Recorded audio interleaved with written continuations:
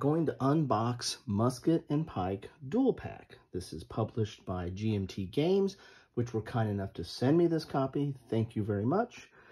It's a game designed by Ben Hull, a designer you might know from Fields of Fire, which is the World War II, Korean War, Vietnam War solitaire system, uh, which is more modern day combat. But but Mr. Hull has been playing or designing in the uh, Musket and Pike and 30 Years War in that space for quite some time and has several games, uh, including some, you know, operational level games or strategic level. This is kind of a kind of uh, crosses or walks the line between those two.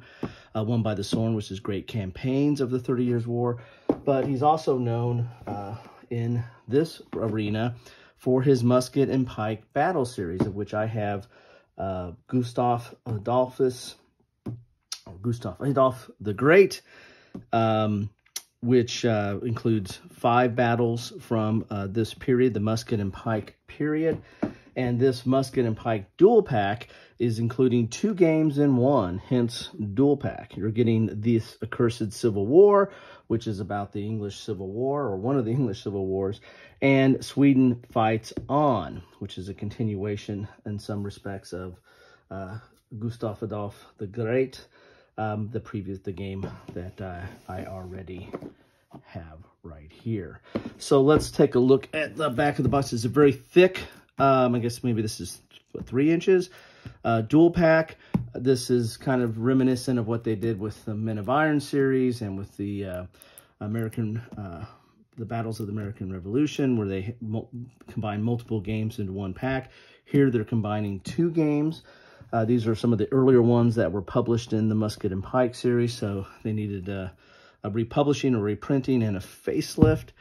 Um, you're going to get a lot in this box. Uh, if you're not familiar with the Musket and Pike series, it is a tactical series where you're going to have multiple boards uh, or maps, so to speak, uh, that uh, where you were that are going to be representing of the terrain and the surroundings for individual battles. Uh, they're usually double-sided, so you'll have multiple uh, maps in a box. There's going to be counters, uh, and the counters are very detailed with all the information you need from a tactical perspective. And there's, you know, not only you're going to have unit information, but you're also going to have leader information. You know, the command structure is very important. If you're familiar with the great battles of history, this is uh, kind of a musket and pike version. It's, it's really not a translation of that series. This, this is its own beast, its own series.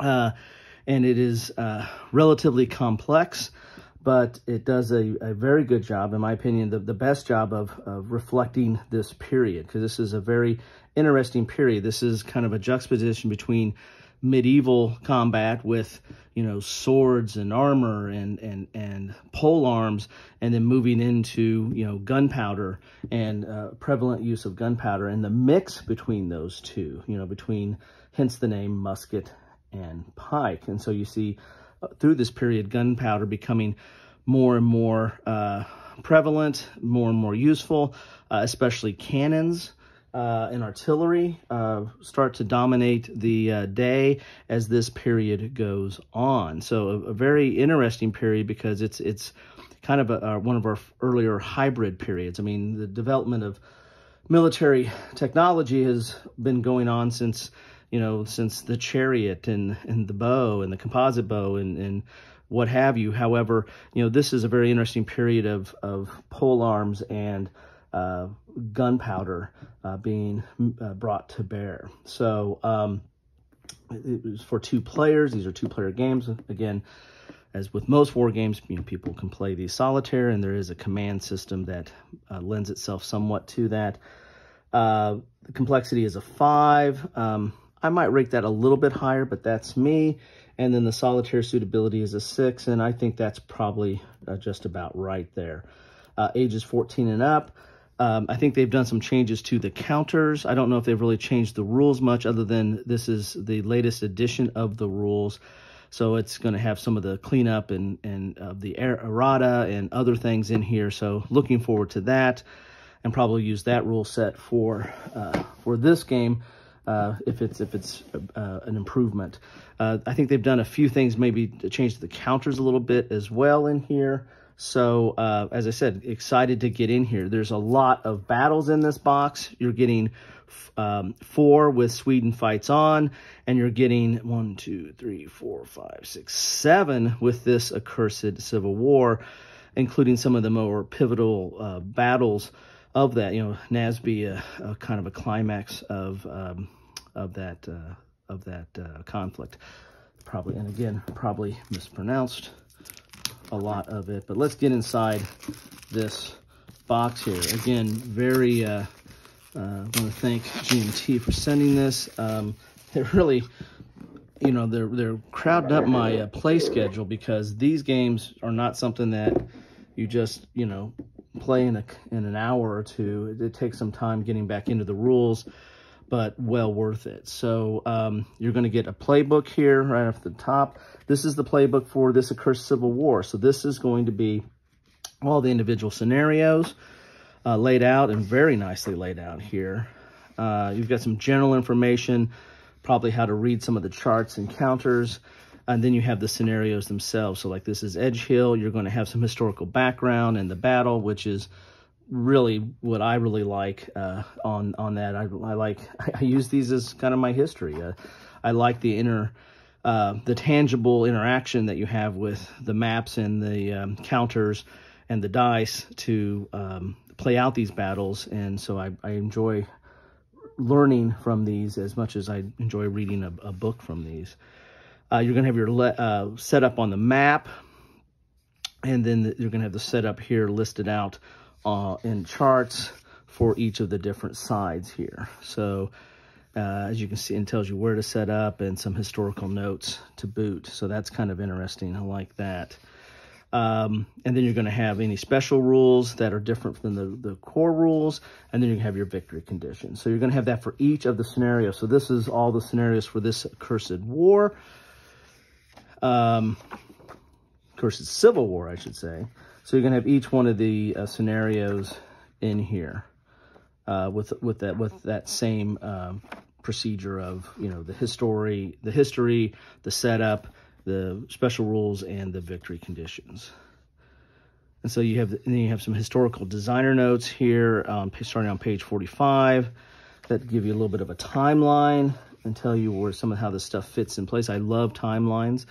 I might need to do a, a, segment on that. And then you have a whole designer notes on organization, tactics, and weapons, or some historical background there. And then you have the designer notes proper. So, uh, and there's a bibliography. So if you do want to read, here you go. So that is for this accursed uh, civil war. Then you have Sweden fights on. This is um, dealing with these battles. There's uh, one, two, three, four battles in this, and this is going to have the same setup of some general information, introduction. Then you're going to have the scenarios, which again is, this is talking about second edition notes, so they've may, maybe change some stuff in, in some of the scenarios. You have your historical background. You've got your setup on the map. You talk, it talks about the battle, the outcome. So you've got quite a bit of history.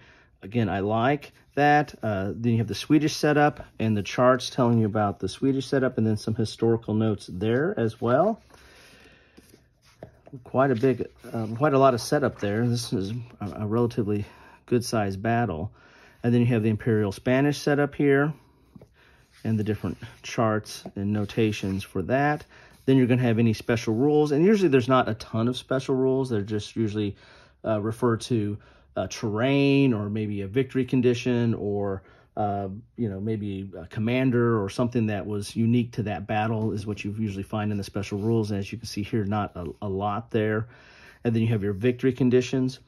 And then um, you an estimated historical victory levels and then the historical outcome. So you can kind of measure yourself versus history. So uh, I like that aspect as well. And you're going to have this for each of the battles that are in here. So uh, a lot of detail, uh, quite a bit of history in here and some notations to that. Um, so, and some nice illustrations as well from the period that you see in here. Then, uh, then we're going to have historical and designer notes here, talking about command structure. Very, very important part of this period, well, any military period, but especially this period. Administrative organizations, tactical organizations. The, I'm going to really enjoy reading this period equipment. And again, this was a very, this was kind of a hybrid period of time, you know, so you're talking about swords, pikes, artillery, uh, firearms. I mean, it was the, the merging of those and how they were used together. Uh, it's kind of your combined arms at this point in, in various different types of arms. Then you have your designer notes and then a bibliography there. So really good stuff there. So two really relatively thick uh, playbooks that give you all your scenarios. And then you have your battle series rules, which is, this is version 7.0. So this is 32 pages, but the last page is the sequence of play, which is uh, very useful to have off to the side. And then you're going to have your fire combat procedure and close combat procedure. Um, here's some errata in Gustav Adolf the Great. Good, I need that for this game here. Errata for Under the uh, Under the Lily Banners. I don't have that one. Nothing Gained But Glory and Saints in Armor. There, as you can see, there was a lot in this series um, that, that developed over time. So this is this is the you know seminal uh, system for musket and pike, at least in in my opinion. So really, rules wise, we're looking at um, 28 pages of rules. So not uh, you know, for a game that, that, that that's this detailed, that's not too bad. Then you can see here some of the uh, examples of heavy infantry, light infantry, and, and some of the notations of what the different uh, icons and names and abbreviations mean. And you can see there's the strength points and the morale points on the counter there. And all kinds of different types of counters. Then you have the example of the leaders that has, you know, like what wing they were commanding and their leadership rating. And then you have a bunch of administrative uh, or different types of administrative markers as well that's in there. Here's sequence of play. Here's a glossary of terms. And so it's typical GMT two, uh, dual column a uh, lot of text, but there's some notations that are in here that are shaded, and then there is color uh, in here. And here's some examples. Here's examples of facing, and you have some uh, extra long counters that are double wides, um, as we might call them, this neck of the woods, and um, shows you how to use those because they're going to move and, and pivot and, and handle uh, combat a little bit differently than the normal, then here's your example of movement here. Stacking, got to have stacking, reaction. Quite a few rules on reaction here. And here's your fire combat. Several rules on that. And then you have your close combat. Again, you know, you have two different types of, of units involved here. You have, you know, gunpowder and uh, pole arms or, or swords. So close combat is is definitely still a, a huge factor in this uh, period here. And here's morale, which is a you know key part of the result of combat in this game. Rally and reform, special unit terrain, and then you're into that errata. So that's your that's your rules that's in this series. You're going to get several player aids. Here's a musket and pike player aid. It talks about your orders and activations. Again, the command structure for this period is very important. Your terrain effects charts all right here. Your fire tables right here. And your close combat table. So there's pretty much everything you need or most what you need in a player aid. And there's going to be two of those, one for each player. And they're color coded. And they look relatively easy to uh, to read and to use there. Then you're going to have a Musket and Pike player aid card. This talks about interception, movement, artillery fire, artillery range, reaction and interception. As I said, there were several rules on reaction. Your order summary chart and you're determining victory. So what are the victory, how do you get victory points? Like from eliminated units or captured units and stuff like that. So there's only one of those. Uh, but uh, you know, it's dual-sided, so you can get to that as you need to. Then you're going to have several of these battle boards. These are basically the different scenarios, uh, the different battles to keep your turn track and any special rules. That's kind of nice. They're in that uh, in the book, but they're also here. Some of the key special rules that you need to know, the victory conditions, and then some more tracks here. The Swedish wings, the Imperial wings, keeping track of where those are at, and then your pursuit box and elimination unit, eliminated unit. So you've got kind of this be off to the side right next to the map and keeping track of some administrative type things, but also a reference chart as well. So I, I really like that. And I like the fact that you, you've got pictures of the leaders and gives you, uh, you know, a feel for the battle with some imagery as well. And you're going to have that for each of the battles. So these are double-sided. So there's one, two, three, four, and there's a lot of special rules there. Five, six. So there's 12 battles here um, because they're double-sided. And uh, there you have it. Now, that's that's kind of nice. Like this one right here, you've got your turn tracks, victory conditions, a lot of special rules here, and then your typical boxes. So um, that's very nice, very good. And it's on good stock there as well. Then we have the counters themselves, and there's several in here. Looks like there is uh, one, two, three, four, five, six, six counter sheets. It's on that uh, good thick gray board or brown board. I don't know what uh, the proper term is for it, but uh, it's decent thickness and You've got the counters right there. And GMT counters punch out relatively well. I don't, I'm not a clipper on counters like this because I think they, they punch out fine, but your mileage may vary. And you've got your leaders up here, and then you get into your units, and then there's bands here to keep them uh, uh, together for uh, their formations or their orders that you might have there. And they're double-sided, so if you're just coming new to this system, this might seem a little overwhelming. There's a lot of numbers, a lot of uh, imagery, a lot of colors. I mean, it's there's a there's a lot going on there, but uh, trust me, it's it's not it's not that complicated. Uh, especially if you're interested in this period, this is, in my opinion, is the place to go for a tactical combat. So that's sheet one. Here's sheet two. And again, double-sided. Sheet three. And now we're getting into some of the, the double wides, as I said there. Get a good look at those. And have some of the markers here that you're going to use in the game. Here's sheet four.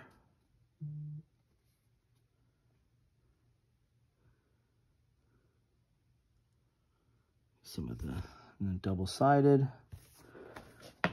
Sheet five, you're getting your money's worth for counters here. And I like how they do the, uh, you get the musketeers are different from your other units. And see that there's all kinds of different formations or that you can tell the difference between these. Then you have your um, longer units there. And then sheet five is mostly, uh, sorry, sheet six is mostly uh, markers, as you can see here. Salvo, uh, morale, orders. So very nice. Then we're going to get into the maps here. Let's. The, oh wow, those feel those feel different. Okay. Uh, then you got the uh, bags. You got to have some bags, and you have some dice there, ten-sided dice. Um, this insert probably will go. Uh, there's no way you can get all the. You can't put uh, put. Um, I don't know if I can get uh, counter trays in there, but you can. There's no way you're going to get counter trays with this. Uh, I usually bag stuff the way I did Gustav. I did bags like this. Sorry about that. Where I can keep track of, you know, this is for Breitenfeld and Swedish uh, units. So I keep track of my counters separately that for battle. Uh, that's what these bags are for. I might do that here, not certain, but this insert will probably not live to see uh, adulthood. Uh, these these are different. These really are different. Now, the, the, the view, the style, and the, the graphics are similar to what I've seen in the past, but very nicely done, as you can see there. Very typical of, of GMT games.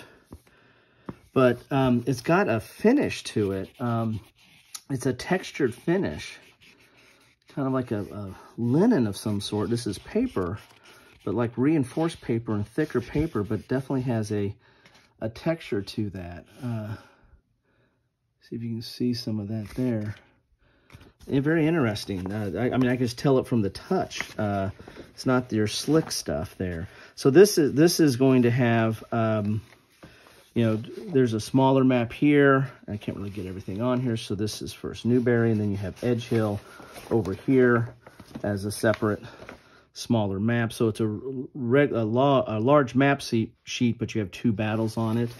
And then on the back is one battle, an elongated one. There's Marston Moor, as you can see there. So, uh, as I said, there's several maps that come in here. I'm not going to open up all these because I don't have enough room right here, but that, that texture really threw me. Uh, that is something very different than what I felt on some of these maps. Uh, you know, this one's just single-sided, but it's a large map, I believe.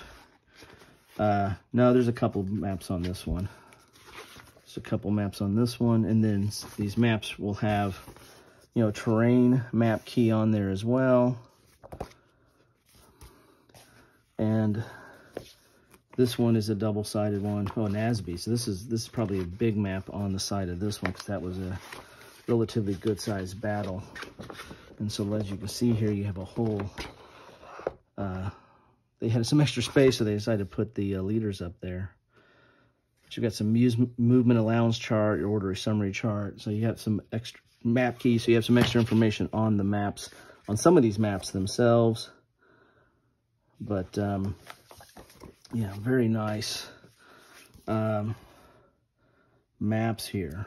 Uh, again, you know, they're, they're relatively subtle. I mean, you don't see a ton of terrain. I mean, you see some slope and some vegetation and some cities, but uh, it's just enough to keep it clean. And again, with these colorful counters, um, they're going to pop on this. Uh, so the, the terrain or the map's not going to get in the way. I mean, the one thing you want to have with a good map is you want to be able to under, clearly see what terrain is, is coming to, into effect um, and uh, roads that you need to use. You want to make sure that it's not overlapping different hexes so you get a confusion of what terrain applies.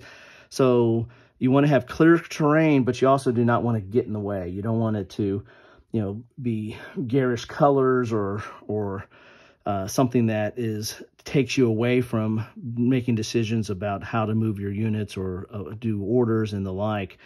Uh, so uh, I find these maps to fit perfectly for that. There's enough detail and color and delineation of the different types of terrain to make it very useful and appealing. And then the counters do the talking in the game themselves, especially in, with these counters that are very uh, colorful uh, and you know, we'll have different formations and the like as well. As you can see, that's going to pop on uh, maps like this. Then you have, uh, as I said, and this one's a double-sided one as well. Ooh, we got some, we got some, uh, do we have some, uh, it's all blue there. I wonder if just blue because it's for Sweden Fights On, or thought it, thought we might have some um, ocean there, or sea. Anyway, so there's second Breitenfeld. Anyway, so there's your maps. Again, they uh, really amazing, that texture. At least that first one had even more texture than the other ones a little bit. But so there's what you there's what you get in a box of Musket and Pike Dual Pack. You get several maps, texture maps, mind you. Uh, many of them, or most of them, double-sided. You're getting six counter sheets here of good quality counters. Uh, you're getting all these battle boards that are specific to the individual battles to keep track of your turn and other types of information, plus the uh, special rules and victory conditions. You get a player aid card for uh, certain aspects, but then uh, individual player aid cards for the really key concepts in the game. Uh, series volume uh, version 7 of the battle series rules and then two playbooks sweden fights on and this accursed civil war. So there you have it. That is what you get in a box of musket and pike. Um, really looking forward to getting back into this. It's been a while since i played uh, gustav adolf this game, uh, and I, I, enjoyed it, but it, it, it's going to take me a while to get back into the flow of this one. Uh, but this looks great. Uh, I'm really excited, especially to see if there's been any kind of updates on the rules from the last version uh, that I have. So anyway, I hope you found this interesting. want to thank GMT Games again. I want to thank Mr. Hull for designing such an engaging series and keep coming back for more. Uh, really excited about this. Um, if you guys have any comments about this uh, series, about these two games, about this dual pack, about any of the games in the series, love to hear it. Love to know what your thoughts are. What do you like about it? What you don't like about it? Uh, it's all fair game. Love to hear about it. Love to get a dialogue started. So that's what I have for you today. Thanks for stopping by. I know your time is precious and there's a lot of stuff out there in the world to do and there's a lot of YouTube to watch. So any amount of time you spend with me is greatly, greatly appreciated. Thanks for stopping by and have a great rest of your day.